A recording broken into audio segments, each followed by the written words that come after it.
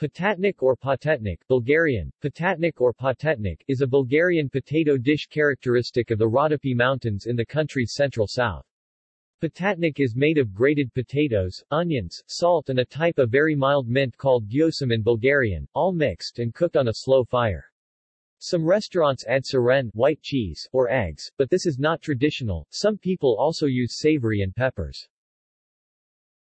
The grated potatoes are squeezed out and mixed with the onions. Some of the doughy mixture that has formed is rolled into two sheets.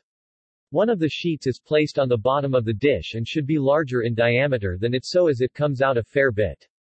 The remaining mixture is spiced with savory poured on top of the first sheet, covered with the other sheet. The edges of both sheets should cover each other. In that respect, it resembles a potato banitsa.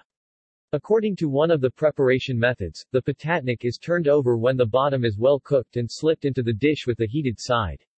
According to other recipes, no sheets are formed and instead the ingredients are mixed until they become homogeneous. These are then cooked in a deep dish on a slow fire.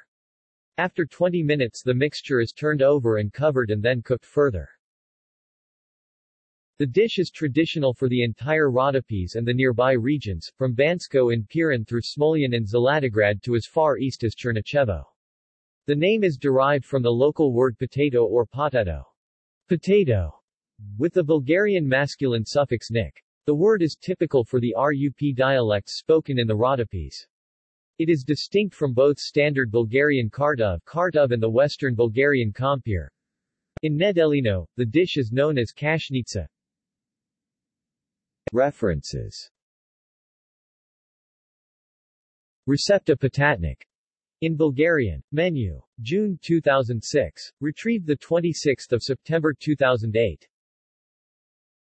Mariabright, the 25th of January 2005. Potato pie patatnik.